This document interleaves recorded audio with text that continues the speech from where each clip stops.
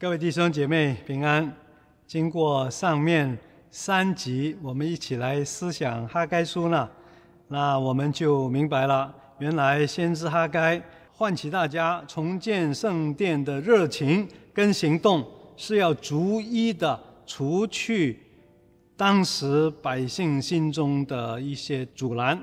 第一个阻拦，把自己看得太高了；第二个阻拦。相反的，对一些人而言，把自己看得一文不值，太低了，这些都要除去，重建的工程才能继续。第三篇信息是记载在哈该书第二章，从第十节开始，那边记载了时间，那就是大利乌王第二年九月二十四号，大家一定还记得啊。他们卷起袖子重新工作了，是在六月二十四号。现在经过三个月，九月二十四号，先知哈该又再次讲道，留下记录了。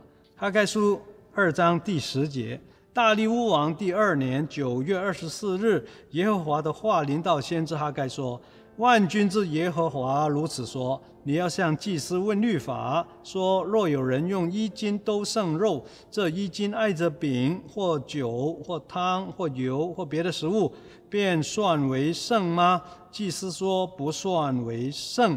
哈该又说：若有人因摸死尸染了污秽，然后挨着这些物的哪一样，这物算污秽吗？祭司说必算污秽。于是哈该说。耶和华说：“这民这国在我面前也是如此，你们手下的各样工作也是如此，你们在坛上所献的也是如此。”好了，这里呢，大概举了两个古代的律法，讲到两个案例。第一个律法讲祭司拿衣襟都剩肉，这什么意思呢？啊，当时在摩西。的规定里面，祭司拿着他的长长的祭司袍，承载着圣肉或者拿来搬运的时候啊，这一件祭司袍因为跟圣肉接触，祭司袍就要成圣。但是他该问的是，成圣的祭司袍再去碰到其他的东西，那么这些其他的东西算不算成圣呢？祭司非常清楚，答案是不算成圣。这条律法记载在利未记第六章十八节、二十七节。另外一个案例是这样啊，阿盖说，假如有人摸了尸体，当时摸了尸体就污秽了，这个污秽是礼仪上的污秽了。那么现在这个污秽的人再去摸别的东西，别的东西是不是污秽呢？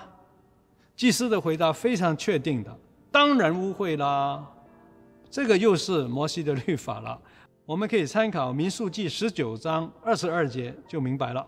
好了，这两个案例放在一起，首先，祭司都圣肉的律法给我们看见，衣袍为什么圣洁呢？因为接触到圣肉，于是衣袍圣洁。但是衣袍的圣洁，从接触圣肉而来的圣洁，不能够传递给其他的东西。背后的原则很简单，那就是圣洁。没有传递性，一个人要圣洁，一样东西要圣洁，必须要跟圣洁的源头亲自连接，它才能成为圣洁。而圣洁不能传给别人的，这个道理太简单了。今天一个人信耶稣，他的儿子是耶稣基督的信徒吗？不是嘛？他的孩子必须亲自信耶稣嘛？是吗？同样的道理。相反呢，摸尸体的这个案例呢，就给我们看见。污秽确实有传递性哦，那污秽扩大了来讲，那就是违反神的心意啊。用在重建圣殿这个场景，那就太贴切了。重建圣殿现在已经进行了三个月，假如弟兄姐妹当时继续干下去，那是合神心意的，就好像圣洁的蒙神悦纳一样。不过这一种心情啊。是没有传递性的。过去三个月蒙神悦纳，要继续做下去啊！不能够因为过去三个月如此蒙神悦纳，那么明天不干事也能够蒙神悦纳了？不是的，因为圣洁没有传递性，必须继续努力。相反，污秽是有传递性的。假如现在干了三个月，大家累了，再次撒手不管，那么就好像这个污秽的传递一样，就会影响全群了。领袖不做，百姓也就不做了嘛。因着这样，我相信这段经文是在开工三个月之后最重要的提醒。这个提醒是什么呢？不要因为过去有任何成就而满足，要为将来继续努力。因着这样，哈该先知提醒当时的领袖和百姓：既然开工，继续坚持。于是他们真的坚持下去。于是四年之后，这个圣殿就完工了。求主带领我们今天在世上一切的属灵建设也是如此。不要只回顾过去有任何成就，那些都过去了。不能够传递到今天的，相反，若是我们今天有任何的怠惰，这一种的不圣洁的心情态度，确实能够传递很快啊！